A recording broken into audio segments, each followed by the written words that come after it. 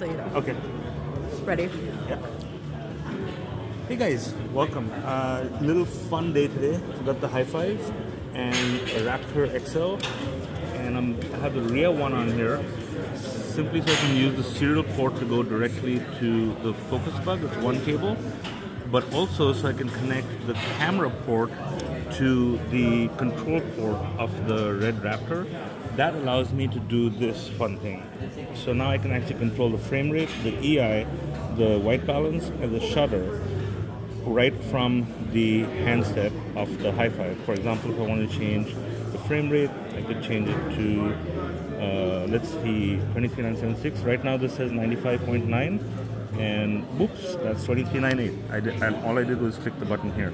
I'm going to change it back so I don't forget to 95.9 oops and 95.9 so that's really nice i have some control of the camera from my Hi5 handset just with one cable uh, that's going into the cam port of the Ria.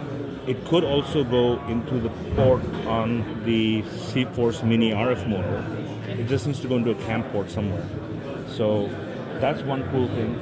The other cool thing I want to show you, and so this motor, by the way, is, is in client mode, and I'm using the Ria as the host. So you see H1, that's host one connected on the Ria. The other cool thing I want to show you guys is you come over this side, or I can, I can turn this this way, is this C-Force Mini motor. You see the blue symbol? That means it's in an encoder mode.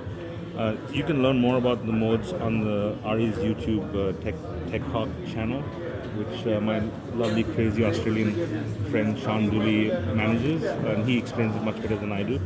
But the fun thing is, in the encoder mode, on my um, on my page, I'm going to show you what's going to happen.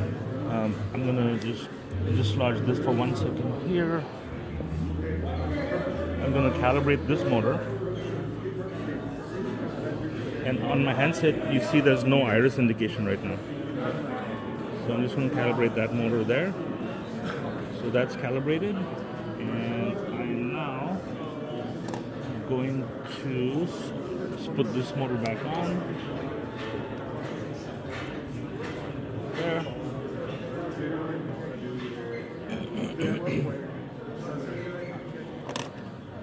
and you should see on the handset that I now have the iris indicator. So this motor is just freewheeling. All it's doing is encoding that lens and giving me the data on my handset, which is awesome.